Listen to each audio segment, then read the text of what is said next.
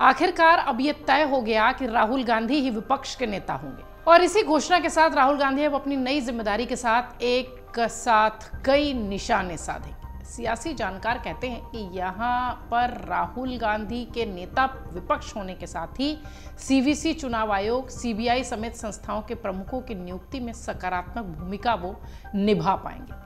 हालाँकि कांग्रेस के सत्ता से बाहर जाने के 10 साल बाद ये पहला मौका है जब कांग्रेस के नेता को प्रतिपक्ष बनने का मौका मिला है।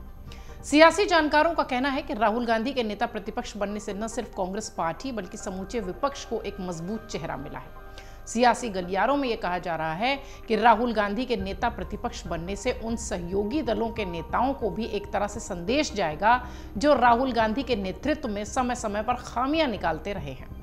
राजनीतिक जानकार कहते हैं कि राहुल गांधी के नेता प्रतिपक्ष बनने से एक तो उनकी स्वीकार्यता गठबंधन के सभी दलों में होगी और ऐसा होने से उनकी छवि भी जो राजनीतिक दलों में है, वो बदलेगी।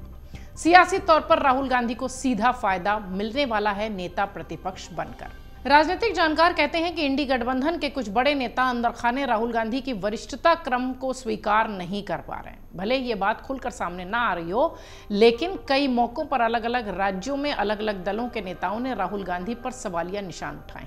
अब जब विपक्ष के नेता के तौर पर राहुल गांधी का नाम तय हो चुका है तो उन सभी नेताओं में भी राहुल गांधी को लेकर स्वीकार्यता होना लाजमी है। ऐसे मौके पर राहुल गांधी अगर अपनी स्वीकार्यता के साथ सभी राजनीतिक दल, खासतौर से अपने गठबंधन के नेताओं से बेहतर सामंजस्य बनाते हैं तो उनके लिए ये एक उपलब्धि भी होगी, जिसका कि उनका भविष्य, जो सियासी भविष्य है, उसको थोड़ा और इन्हांस मिलेगा, फ़ायदा मिलेगा।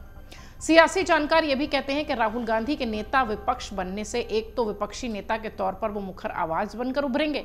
और सियासी जानकार ये भी कहते हैं कि बीते कुछ समय से जिस तरीके से राहुल गांधी के भाषणों में तीखापन दिखा है, वो नेता विपक्ष के तौर पर संसद में एक अलग छाप भी छोड़ सकते हैं।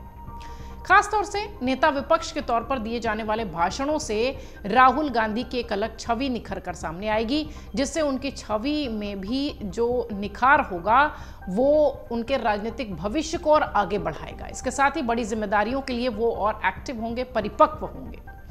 नेता प्रतिपक्ष को कैबिनेट मंत्री का दर्जा मिलता है। तमाम नियुक्तियों में उनकी राय महत्वपूर्ण होती है। राजनीतिक जानकारों का कहना है कि सीबीआई हो, ईडी हो, तमाम अन्य प्रमुख जाँच एजेंसियों में होने वाली नियुक्तियों में राहुल गांधी महत्वपूर्ण और सकारात्मक भूमिका निभाएँगे। इसके अलावा कई प्रमुख नियुक्तियों समेत महत्वपूर्ण फैसलों में नेता प्रतिपक्ष की बड़ी भूमिका होती है।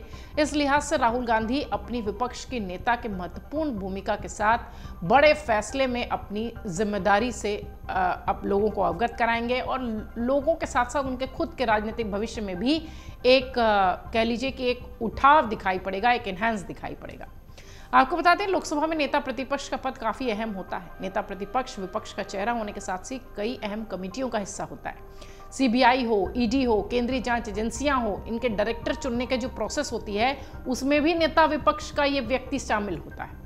इसके अलावा सेंट्रल विजिलेंस कमीशन, सूचना आयुक्त और लोकपाल की नियुक्ति में नेता प्रतिपक्ष की राय ली जाती है। नेता प्रतिपक्ष को कैबिनेट मंत्री के बराबर सैलरी, भत्ते और सुविधाएँ मिलती हैं। उन्हें कैबिनेट मंत्री की तरह ही बंगला ड्राइवर सहित कार और चौदह लोगों का स्टाफ भी मिलता है। फ़िलहाल, नेता प्रतिपक्ष बनने के साथ ही राहुल के राजनीतिक करियर में एक बड़ा इन्हेंस ज़रूर नज़र आएगा। अगर आप ये वीडियो YouTube पर देख रहे हैं तो हमारे चैनल को सब्सक्राइब करें और बेल आइकन को दबाना ना भूलें। अगर आप Facebook पर यह वीडियो देख रहे हैं तो हमारे पेज को लाइक करें।